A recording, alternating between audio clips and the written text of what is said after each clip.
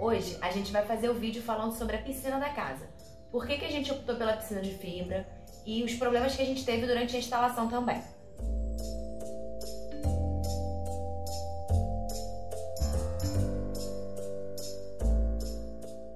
Oi, eu sou a Bia e você está no Família Maker, o canal do Faça Você Mesmo. O que tiver precisando para nossa casa, a gente bota a mão na massa e faz. Se você curte essa pegada, se inscreve aqui no canal para não perder nada.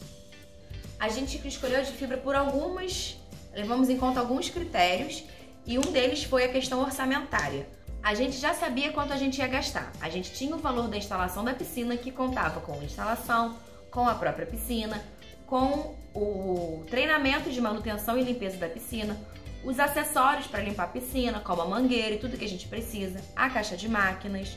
Então, a piscina de fibra ela já inclui tudo isso quando você fecha o orçamento. A de alvenaria a gente não sabia quanto a gente ia gastar, ficou uma coisa muito aberta. A gente orçou a mão de obra e aí a gente tinha uma estimativa mais ou menos do que ia gastar de material. Mas a gente sabe que nunca é o que a gente planeja, né? Sempre é um pouco a mais. Então ia acabar ficando muito mais cara fazer a de alvenaria do que a de fibra. Fora essa questão do orçamento, uma coisa que fez a gente escolher pela de fibra foi a manutenção. Se a gente tiver algum problema de infiltração ou alguma coisa assim, é mais fácil resolver numa piscina de fibra do que numa piscina de alvenaria, que eu talvez precisasse quebrá-la inteira para descobrir aonde estava o problema. E além disso, a de alvenaria com o tempo tem o risco de quebrar o azulejo, alguma coisa assim e acabar machucando. E daí eu precisar fazer uma obra para poder resolver esse problema também, que é um risco que na de fibra a gente não tem. Fala dos pontos positivos da piscina de alvenaria? É claro.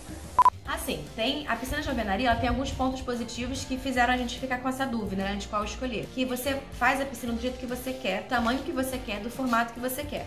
A de fibra não tem isso. Ela tem os padrões dela, da, da empresa que você contratar, tem aqueles formatos e aqueles tamanhos. Não dá para variar. Na de alvenaria dá.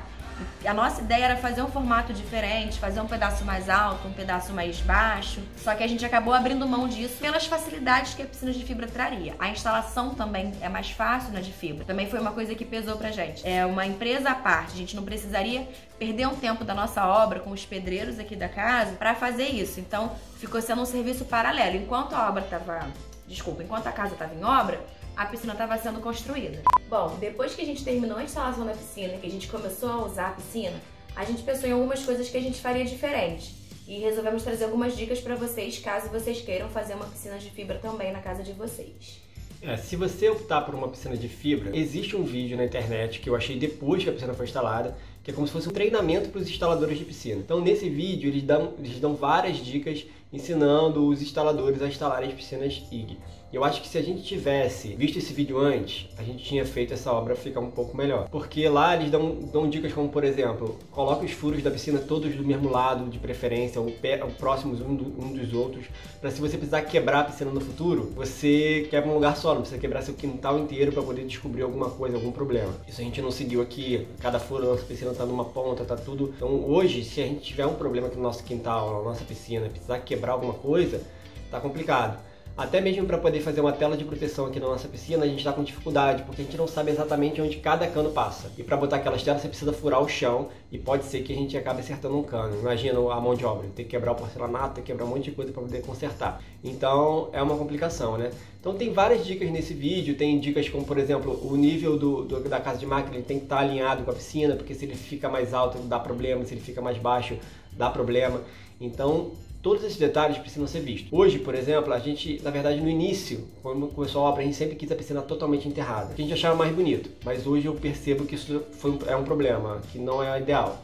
Por que, que não é ideal? Porque a piscina ela fica nível do chão, então mais sujeira entra na piscina, esse é um dos problemas, que a gente não está tendo esse problema ainda, mas é um problema que a gente provavelmente vai ter no futuro. E o problema para mim mais grave é que a gente teve que esconder todos os canos. Se a piscina fosse um pouquinho mais alta, tivesse um degrau, tivesse um deck, talvez a gente pudesse ter feito um deck de madeira pequeno, é, mesmo que ele fosse uns 30, 40 centímetros, para esconder alguns canos. E aí talvez se a gente tivesse um problema no futuro, a gente não precisasse quebrar a piscina toda. Hoje, se eu fosse fazer essa piscina de novo, eu faria ela com um degrau, assim. Eu acho até depois conversando assim, até pro dia a dia eu acho que é melhor você ter um lugarzinho ali para sentar, para relaxar, que hoje a gente não tem para sentar aqui na piscina. Hoje a gente bota o pé na água, ou não tem como sentar, porque não tem um degrau, entendeu?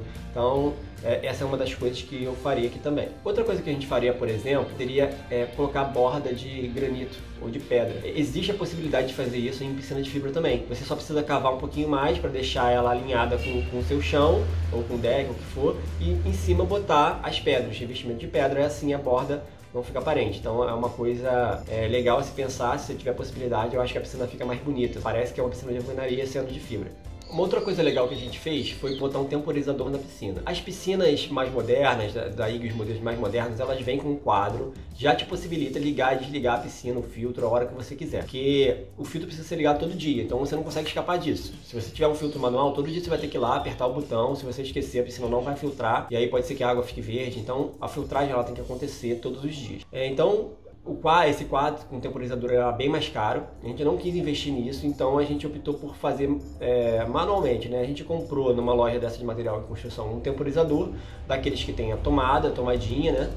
Então você lá programa, por exemplo, eu quero que todos os dias, duas vezes por dia, ele ligue por. a piscina ligue por duas horas, por, por 10 minutos, por 15 minutos. Você consegue definir o tempo. Aqui a gente botou para ligar duas vezes por dia, uma hora e meia cada vez que ela ligar. Então você basicamente liga a bomba nesse temporizador, na tomada, e, e pronto. Toda vez que chegar nesse horário, o temporizador vai ligar e vai filtrar sua piscina.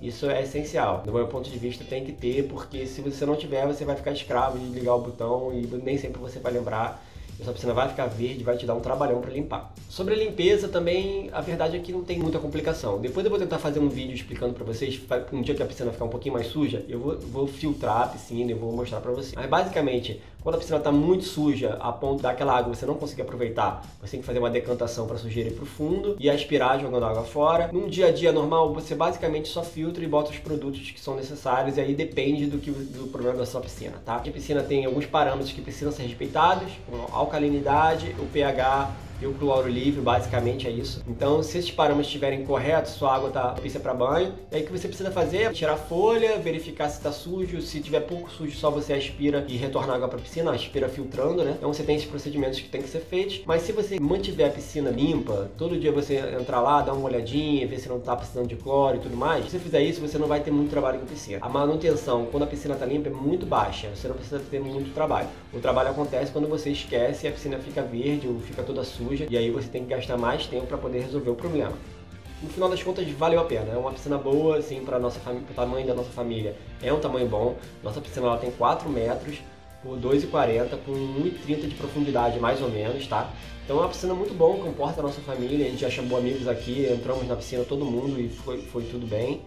Então a gente recomenda fazer piscina de fibra porque a piscina de alvenaria, apesar de poder ter o formato que a gente quisesse, ela tem vários outros problemas que eu acho que, que nesse caso a facilidade da fibra de vir ser uma coisa pronta, que você já chega na sua casa, coloca no buraco, instala e acabou, eu acho que essa, essa, essa facilidade compensa assim no nosso cenário aqui. Na nossa realidade, né, de quem está fazendo obra, que está tendo muito gasto com obra e tudo mais, então pra gente foi o que se adequou melhor e, e a gente acha que foi uma escolha acertada. Então é isso, pessoal. Espero que vocês tenham gostado do vídeo. Compartilhem com os amigos, não esqueçam de curtir e continuem acompanhando a nossa família. Tchau. Tchau.